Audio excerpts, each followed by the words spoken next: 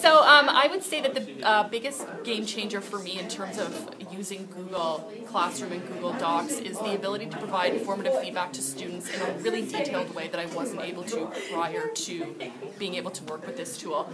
Um, I'm an English teacher and I have a lot to say and sometimes my hand quite can't quite convey as much as I want to say um, in handwriting. And so to be able to do it through the permanent clipboard add-on in Google really makes that much easier.